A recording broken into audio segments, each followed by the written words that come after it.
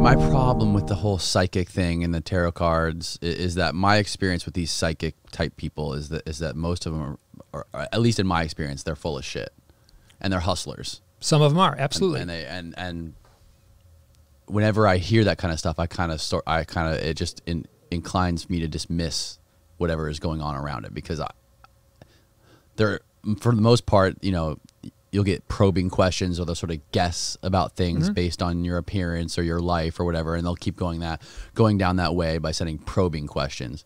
Don't you get? I mean, don't you ever get the sense that some of these people that are reaching out to you?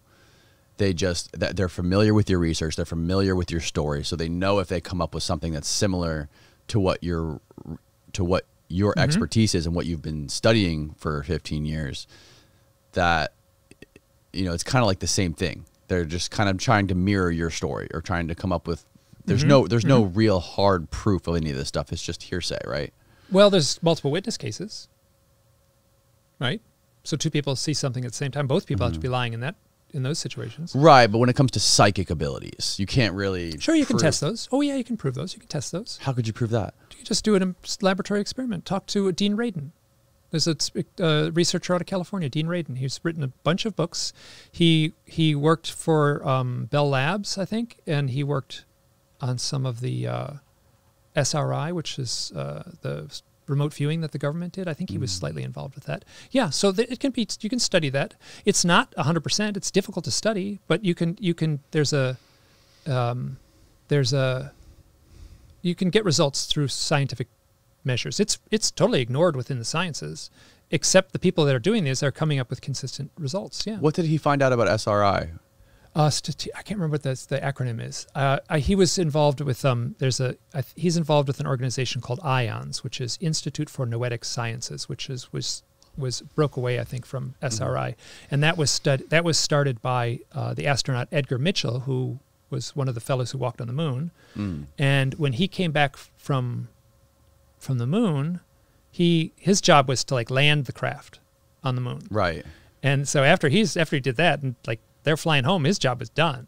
So he didn't have to do anything. So all that he could do is just look out the window. You know, you're like looking out the window for a week and this you're out in space. And he said he had like what amounted to a mystical experience. He's a, he's a um, he's a physicist from MIT, and he had this magical, mystical, blissful experience, like looking out into the heavens, which makes sense, right? Right, Yeah, of so- course. You're riding through outer space. yeah, yeah. So he has a, so and he he came back and he said like you know he talked to some people and said look this up. I had this mystical experience. He tried to describe it and these people came back and said it's called a, the the closest thing we can find is a, called a samadhi experience, which is a feeling of oneness with the magic of all. I'm paraphrasing that poorly. Right. And he said, oh okay, well that's that's what what what um that's what I had, so that's what I'll call it. And so he started this organization that studies that, and Dean Radin is involved in that organization. Hmm. So, in your and I, I'm not a scientist, so I'm Right. not. I'm all I'm. i I'm a journalist more than a scientist, right? Right. So I'm not trying to prove or disprove anything. I'm trying to to to collect enough stories to to back up my the hypothesis that was in a way thrust into my lap. out of all these stories, these these owl stories and these UFO stories, how, many of them have like video or photo- or photos of these things happening? Like photos of, of a craft or a light or a being or a giant owl. So you, you mentioned like four foot tall owls. Okay, I got no pictures of four foot tall owls. Okay, so so the so I got a lot of pictures of owls. People get send me pictures of owls all the time, right? So the close up owl, like people will say, I've had UFO contact. An owl landed on my back porch. Here's the picture. It's an owl. It looks like an owl on the back mm. porch. The story is what more important is more, more important to me. People will say like I was called to get my camera and go outside and take a picture in the dark of the roof, and they do, and there's an owl in the picture. So you know, I, I'm cataloging those kinds of stories and I'm trying not to weight them too much, right? Because some of them are pretty like loose, you know, and Right. but at the same time, you you see a pattern, you see that same story emerging. Now, your question was, um, like, I- uh, so I don't have any. You know what I do have? I have a I have an audio. There's a woman. Her name is um, Lindy Tucker, and she saw a flying craft, a flying saucer, in her yard in Canada, um, Orton, Ontario, and this would have been the 1970s. And she had a audio recording. She recorded the audio of this craft, and the craft made this beeping noise. The craft doesn't sound like anything. It sounds like beep, beep, beep, beep. Not that interesting, right? But along with that noise, there's the hooting of an owl in the background. So Hmm. like there's that's like for me that was like gold for a little like oh my god there's an owl and a UFO.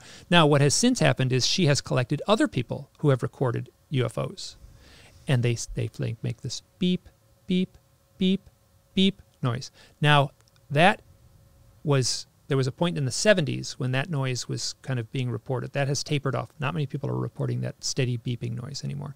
But she collected I can't remember what it multiple audio recordings of flying saucers, and they all made this completely. It sounds like a truck backing up. It's not that interesting, but given the the the the witness testimony, taking that into account, if it's to be believed, and nobody is. I mean, yes, there's certainly people out there hoaxing.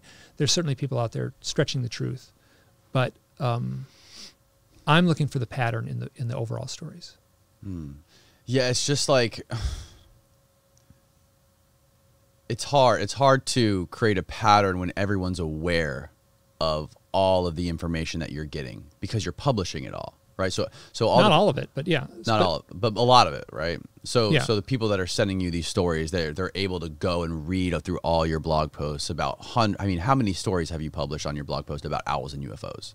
Many hundreds, yeah. So, So, they, they're, they they have access to these. So it's it's kind of like but it's like, yeah, I don't, I, I, I see where you're going with this, but my sense strongly is that people are contacting me for another reason. They're contacting me, so like you to have a conversation with someone, they're like, I need to talk to you.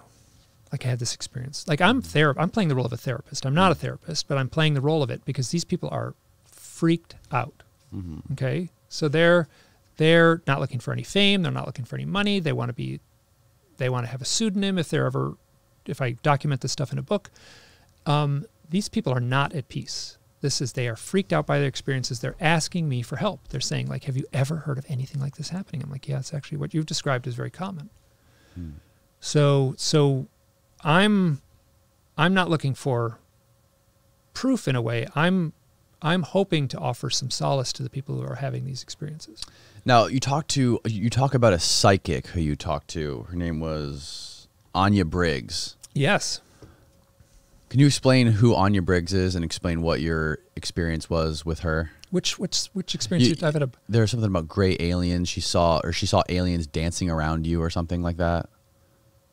In in your book, you talked about you talked about she said she could see aliens around you when she was looking at you. Oh, oh, okay, yeah. So she's psychic. This is something. now, like, I don't take this as concrete proof that there's aliens. She said there. I don't think she did. She say dancing. She may have. She, I don't know if it was dancing, but she said Yeah. she saw them around you. Okay, yeah. So she. This has happened to me more than once, where I've talked to people who. So in these waters, like I end up bumping into.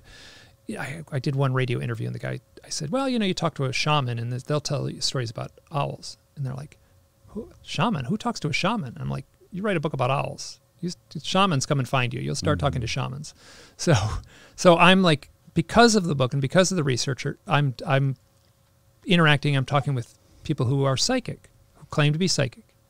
And one of the things that I've had more than one person say, they kind of look at me and they've actually, I've had one person kind of look over my shoulder and kind of go like, there's this, there's, I say like alien energy around you, gray alien energy.